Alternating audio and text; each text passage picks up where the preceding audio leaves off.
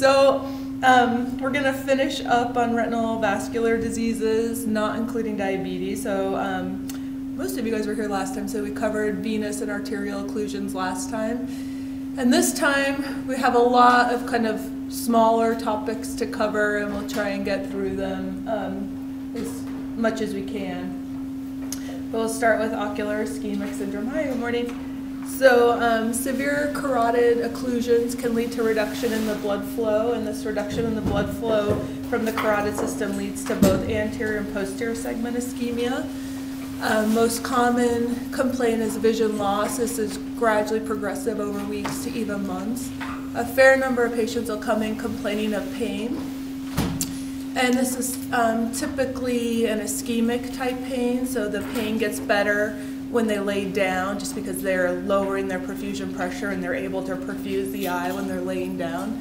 Uh, the pain can also be inflammatory for anterior segment um, inflammation, or the pain can be from elevated intraocular pressure because they can come in with neovascular glaucoma as well.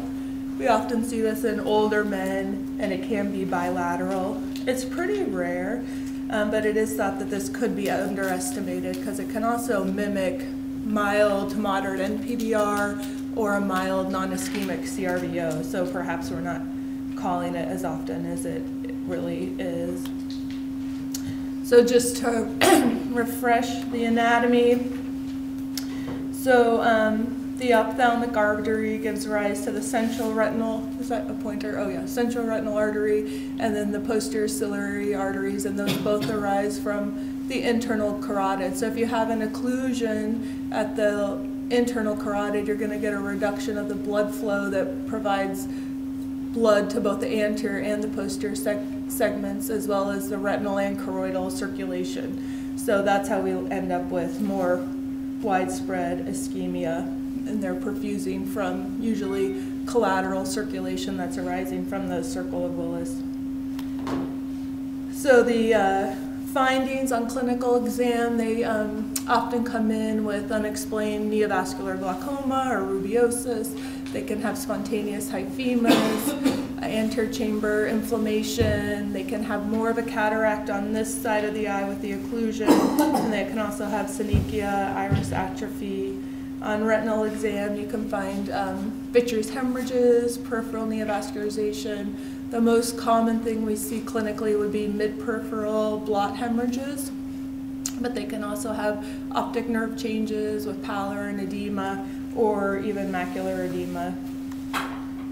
Um, they often will have pretty severe stenosis of that carotid artery on that same side, and this can be the uh, presenting uh, findings for carotid occlusive disease in a pretty high number of patients.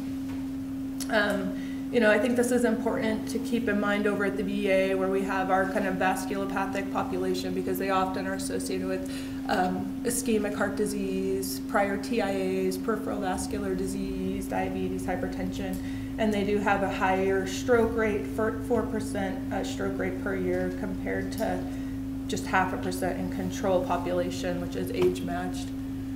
Um, this is the retinal findings that you'll see, which is these kind of mid-peripheral blot hemorrhages. These are deeper blot hemorrhages as opposed to the kind of fl more flame hemorrhages that you would see in a vein occlusion.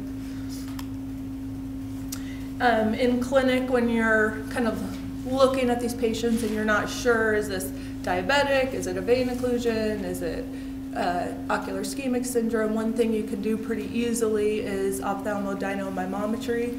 And so what you're doing is basically just putting gentle pressure on the globe. So while I'm looking with the indirect, I could you just put pressure on the globe and you're looking for cessation of the um, well, you'll start causing arterial pulsations, and you shouldn't be able to do that in a normal eye. Um, but with these eyes with poor perfusion, you can overcome that ophthalmic artery perfusion pressure just with gentle globe digital pressure. Does that make sense? How, how I would do that. So you would just kind of have your indirect kind of gently press on your finger, tell the patient you're going to press, and then you you can overcome the central retinal artery and start to see pulsations. Then that could be an indication of reduced blood flow and reduced perfusion pressure to the uh, central retinal artery. Um, the other clinical finding is to do a fluorescein angiogram. The most common thing you'll see would be prolongation of the AV transit. That's the most sensitive, but the most specific sign would be delay in the choroidal filling. So normal choroidal filling should happen within five seconds of the dye being pushed. Um, but in ocular ischemic syndrome, it can take quite a bit longer, even up to a minute. You can also see retinal vascular staining, and this is typically staining of the arteries. And then you can also have angiographic le leakage into the macula as well. So um, this just shows the delay in the choroidal filling. You can see even at 24 seconds that the choroid isn't completely filled. And then there's pretty significant delay in the AV transit time up to 49 seconds. We still don't have these um, veins filled out here. The other thing you can see is staining of the arterial walls and the periphery. Oh, yeah. Do you also get capillary dropout? You can get capillary dropout. You can also see um, microaneurysms as well. Um, I think this is a, a really good chart. This came from like a review article of ocular ischemic syndrome, and this just contrast the different clinical findings between ocular ischemic syndrome, vein occlusions, and diabetic retinopathy. And your really severe ischemic CRVO, you're not going to mix that up with ocular ischemic syndrome, but it's more those kind of mild non-ischemic ones where you'll be like, oh, I don't know, which could it be? One thing to look at would be the retinal veins. So in an ocular ischemic syndrome, they're dilated, but they're not going to be tortuous, whereas in a vein occlusion, they should be tortuous diabetic retinopathy, you'll see more beading rather than uh, tortuosity. Um, and then, yeah, this Lee just answers your question, capillary dropout in, uh, in the ocular ischemic syndrome, which you can also see in vein occlusion and diabetic retinopathy. Um, but you really won't see exudates, hard exudates in, in uh, ocular ischemic syndrome like you would see in diabetes. And then um, central retinal perfusion pressure, that would be normal in vein occlusion and diabetic retinopathy. And then this, uh, the angiographic finding of that de delayed choroidal filling. In uh, CRVO, you'd see vessels, vein staining as opposed to arterial staining that you would see in ocular ischemic syndrome. So I think those are the biggest things that can help you kind of figure out the difference. Obviously, um, if you're not sure you know, doing the test to rule out ocular ischemic syndrome is a pretty non-invasive, safe test and pretty low risk. So if you're really not sure, I think getting a carotid Doppler and just ruling it out is not gonna, no one's gonna fault you for that if you're worried. so the, um, to diagnose getting the carotid Doppler, if that's uh, questionable, then go into a CT angiogram. A carotid angiogram is always considered the gold standard, but it's not really done because of the uh, high uh, morbidity associated with it. They have a pretty high risk of um, strokes and TIAs associated with that carotid angiogram, so it's not really our, the standard first line test. Um, the prognosis um, really isn't that great. If they have rubeosis, 90% will be legally blind within one year, so it's pretty high rate of visual loss. You can get rid of the neovascularization about 35% of the time with PRP. You can also use anti-VEGF agents for these patients to help control the pressure. And they do have a pretty high five-year mortality rate due to cardiovascular disease as the most common problem. So as far as the treatments for the eye, um, controlling inflammation, and um, with steroids and cycloplegics, that can help with the, the pain and the inflammation and managing the intraocular pressure. A lot of these patients end up with either shunting procedures from the glaucoma uh, service or even diode, uh, cyclophotocoagulation. From the retina standpoint, we can control the neovascularization with anti-VEGFs and PRP but the main thing is also getting them to the vascular surgeon for a carotid endarterectomy. Any questions about ocular ischemic syndrome? No? Okay, so we'll move on to hypertensive retinopathy. So um, really most patients with hypertensive retinopathy, when they're coming in with kind of mild to moderate hypertension, they might not have any visual complaints at all, and the most common thing you'll see would be AV nicking. There's really not any association between what the blood pressure is and the retinal findings. Patients that come in with vision loss, those are our patients that come in with malignant hypertension, really severe accelerated hypertension that you see with like eclamptic, our eclamptic patients or um, renal hypertension. So the uh, modified Scheie classification, uh, grade zero really have no changes. Uh, grade one, arterial narrowing, Grade two, narrowing with irregularities in the arteries. And then in grade three is when you'll see hemorrhages and exudates. And grade four, you'll see optic nerve edema. So this is a grade three. Um, you can see that the disc has nice, sharp, clear margins, but you do have exudates, cotton wool spots, arterial irregularities, flame hemorrhages. And then this is a grade four with a severe optic nerve edema. Obviously, this can be a lot of different things, so you want to um, keep hypertension on your differential, checking blood pressure in someone that comes in like this, but there's other things you'd want to consider, Bartonella, uh, mass lesions, anything like that. But, um, but, you know, if you see someone like this, you want to check the blood pressure in the clinic, and if it's high, obviously send them to the ER. so, um, Hypertension can also affect the choroid and the optic nerve. Um, you can see these Elschnig spots. These are these little um, kind of tan lobular lesions at the level of the choroid where there's non-perfusion. Initially they're kind of tan and then later they'll become hyperpigmented. And then the other thing that's kind of classically seen with hypertensive choroid changes are these Siegrist streaks. And this is just uh, pigmentation that can follow um, the choroidal arteries, and this is associated more with acute malignant hypertension in young patients. You can also get serous RDs and focal or PE detachments. So check the blood pressure. If it's um, severely high, I'll send them to the ER. If it's, you know, more, if, I, if I'm not as worried, I'll send them to their primary care doctor pretty quickly within a week or so. But if it's, you know, 190, 200, they're going to the ER from my, from my clinic. you don't want to send somebody home and they have a stroke or, you know, it's not good.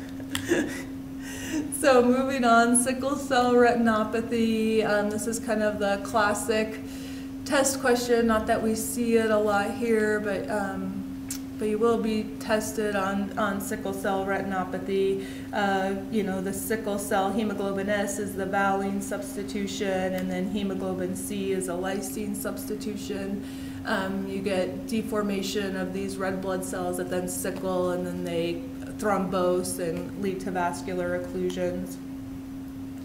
Um, the most common um, abnormality would be hemoglobin SS disease. That doesn't, that has more systemic complications and not as high um, a rate of ocular complications. The rate of proliferative retinopathy is highest in hemoglobin SC disease, and that I've seen tested for sure. So in the eye with sickle cell disease, you get sickling of these abnormal red blood cells, and that leads to thrombosis, and then you get peripheral occlusion and non-perfusion. That then leads to retinal neovascularization at the border of the perfused and non-perfused retina. Um, in non-proliferative uh, sickle cell disease, the classic kind of findings would be the salmon patch hemorrhage, and this is an arterial occlusion with downstream intraretinal hemorrhage, and then that salmon patch hemorrhage can kind of um, dehemoglobinize and then lead to these refractile deposits that you can see in the retina. And then the sunburst uh, lesion, this is from subretinal hemorrhage, and then you get RPE migration uh, into that. Sorry, the I don't have many pictures of sickle cell retinopathy, so I had to take it from books, and they didn't. They're not the best pictures, but you can kind of get the idea of it. Um, the other thing that you can see in sickle cell patients is angioid streaks, and this is from uh, occlusions at the choriocapillaris that can then lead to um, breaks in Bruch's membranes. Um, and this occurs in about 6% of hemoglobin SS and AC patient, AS, AS patients. Any other, what do we normally see angioid streaks in here in uh, Utah? Uh. Yeah, pseudoxanthoma elasticum. Yeah, yeah, that's where, where I've seen it mo- mostly here. Dr. Jacoby, why is it that there's more retinal manifestations with the SC than the SS? You know, I was looking into that the other day, and I don't think that anybody really knows the, the answer to that. I, at least that I've found. I don't know, I can look into it more, but I didn't see a reason for that, but that's a good question. So, um, the staging, uh, stage one, you get peripheral occlusions and non-perfusion. Stage two, you get these anastomoses peripherally, and then stage three is when you start to see the sea fan, and then um, stage four is vitreous hemorrhage, and stage five is attractional detachment.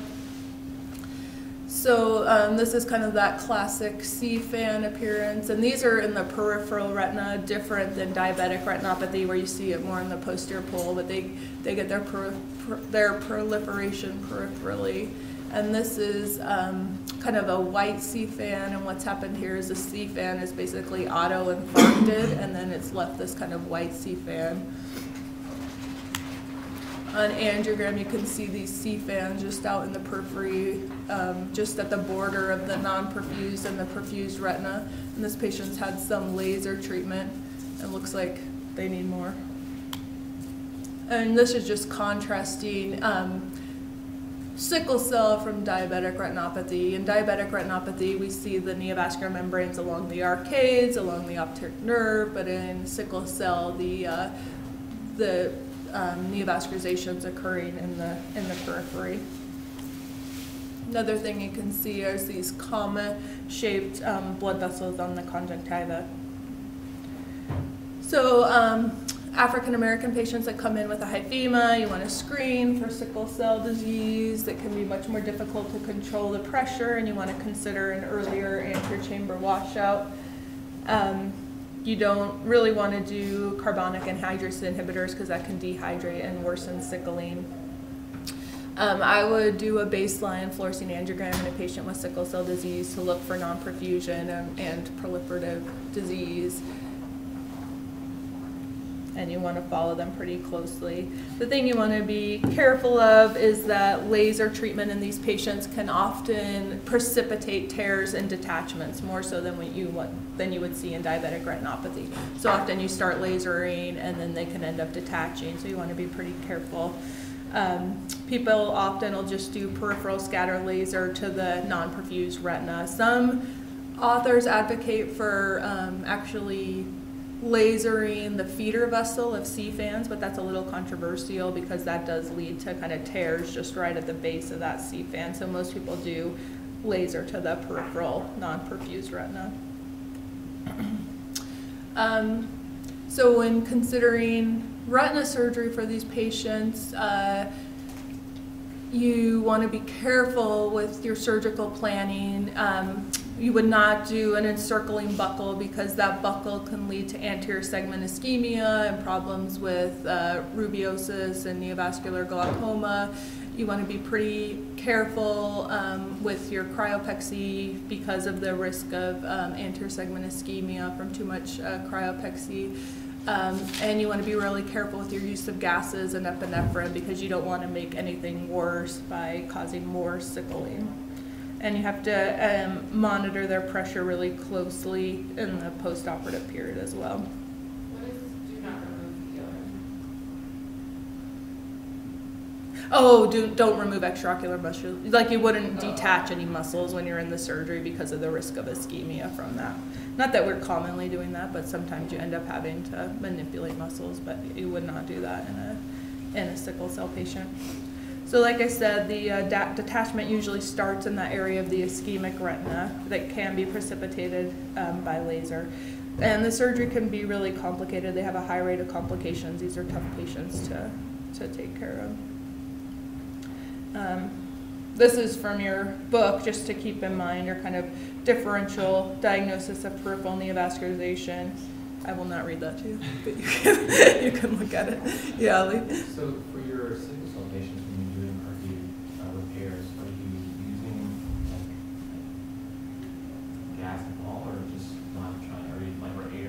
So you could either use um, oil, would be a really good option in these patients. I think most people would do oil instead of the expansile gas formation. I mean, to be honest, I don't have any sickle cell patients here in Utah. I think I had a few in Madison that required surgery. I saw more there than here, but here it's just not a really common, um, just not a common thing that we see. So it's, it's not as common to operate on. Um, but I would probably use oil for a lot of these patients.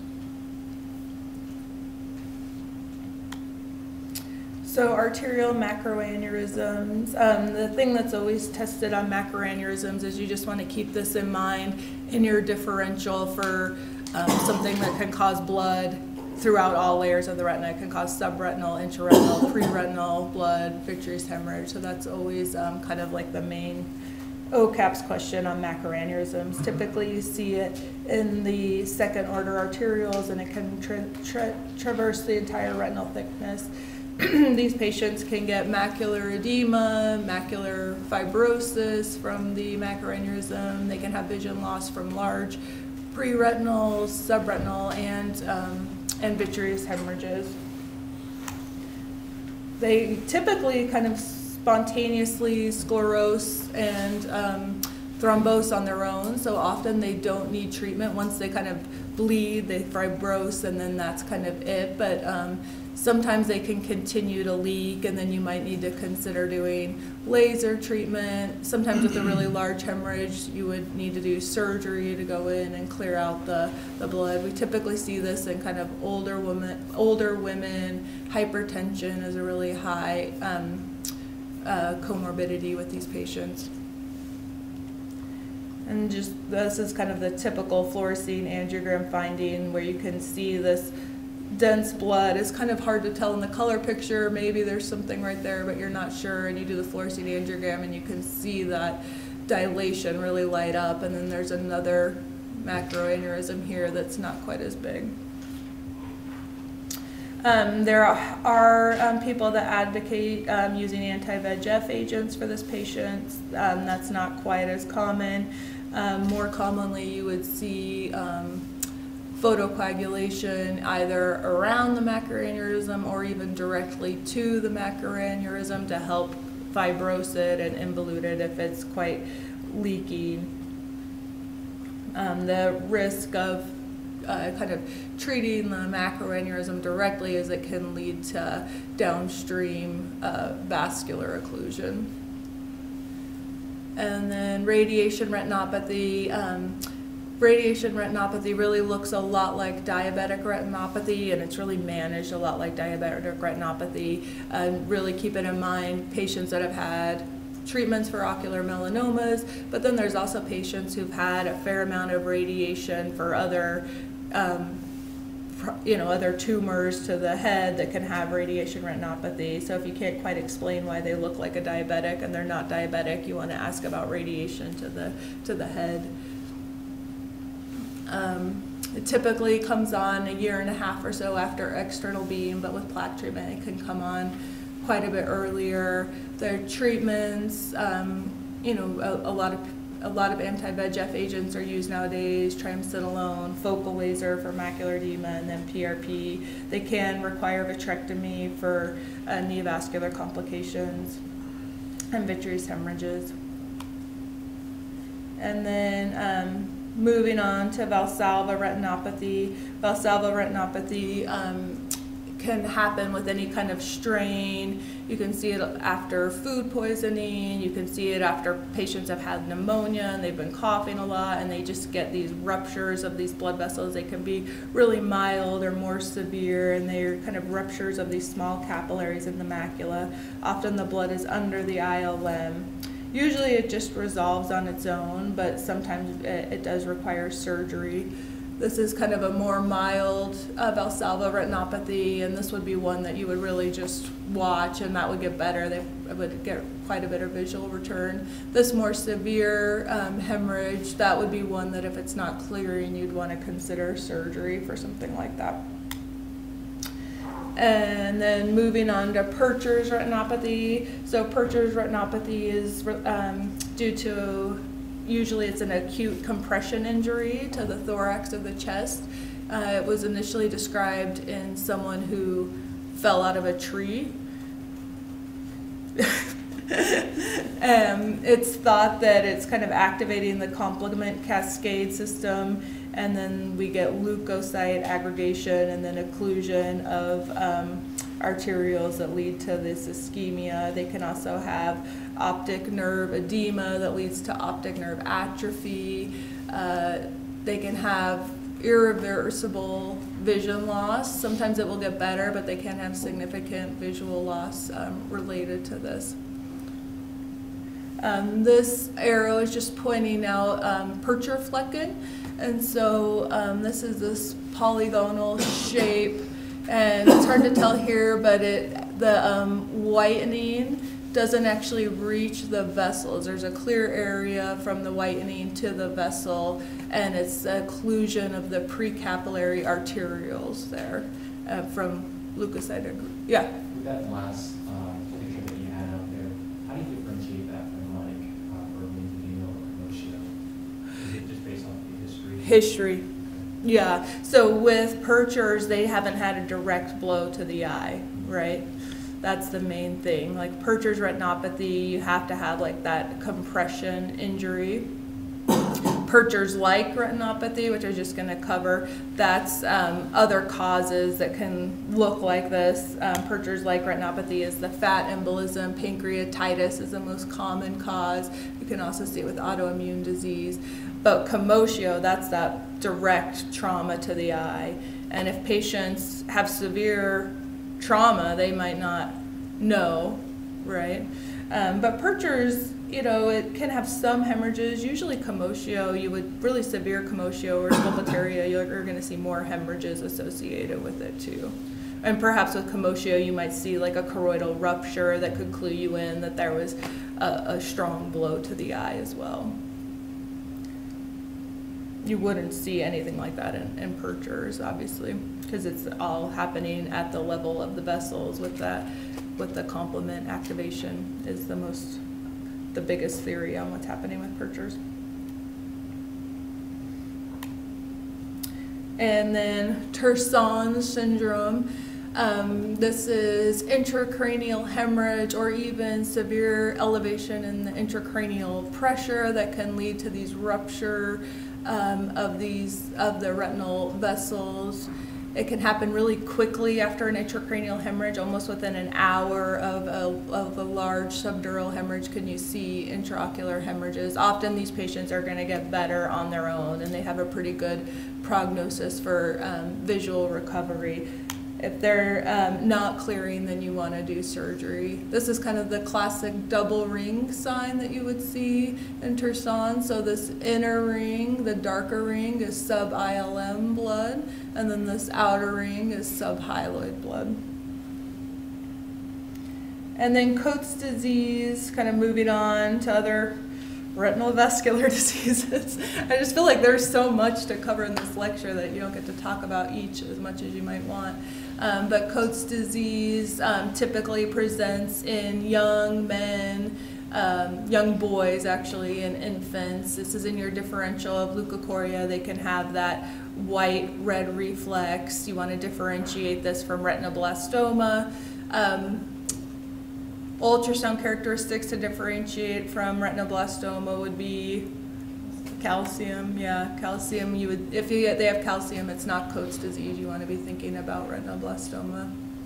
So this is retinal telangiectasia with these ectatic, ectatic arterioles, microaneurysms, and exudative uh, RDs.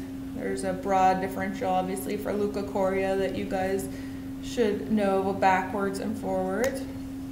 And then there's two different staging systems for Coats disease. They're pretty similar in terms of the different stages. I don't actually know why we need two different staging systems for Coats disease, but we have them.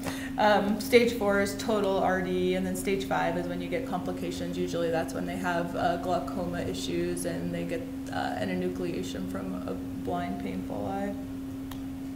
The treatment, kind of the standard treatment is laser photocoagulation to the uh, ectatic arterioles.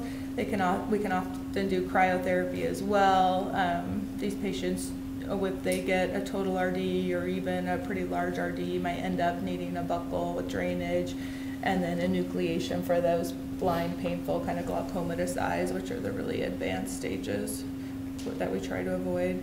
Uh, There is some role for anti-VEGF agents in these um, patients as well. Um, if they present at a younger age, they usually have a worse prognosis than those present later on in life. Um, so macular telangiectasia, three types of macular tel- telangiectasia. Um, type 1 is um, unilateral in males, and it's really thought to be a variant of Coats disease. So it's also called Leber's miliary aneurysms. You might have heard that as well. So some people actually just group Coats into type 1 macular telangiectasia, but um, you know, the BCS separates the two. The real differentiating factor is Coats disease is going to be in the young kids, the young boys, and then type 1 macular telangiectasia, you'll often see that in, in older patients. Type 2 is the most common. I feel like type 2 we talk about all the time. I think you guys probably know type 2 MACTEL pretty well from fluoresceins or being in Bernstein's clinic with the studies that he's in. And then type 3 MACTEL is really rare, and I actually don't even know if I've ever seen type 3, but they have bilateral disease with retinal capillary obliteration. I can't even think, last night I was trying to think of a case off the top of my head, and I don't think I've ever seen it. So I don't know if you guys ever will. So type 1, so you can see the similarity um, with Coats disease. There's a lot of exudation. Um, and this exudation, though, is not quite as severe as we were seeing in the pictures of Coats disease, but it's in this tipple, in the temporal macula, uh, and they can have macular edema. Another picture of type 1 Coats. Type 1B, so 1A is um, the congenital type. Type 1B, you often see this in kind of middle-aged males, and they'll just kind of have a couple little microaneurysms. They have excellent vision, really good visual prognosis. They're usually 20, 25. Often this is something that's not treated at all.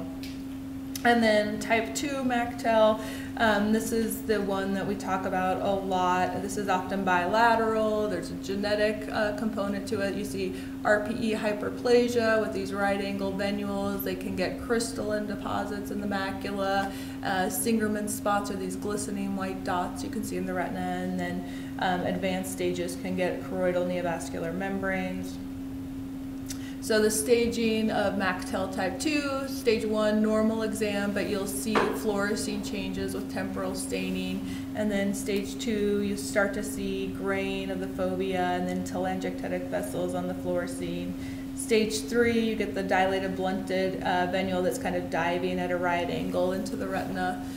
And then stage four is when you start to get pigmentary plaques around those venules, and stage five is when you get neovascular disease. You can see OCT changes on all stages.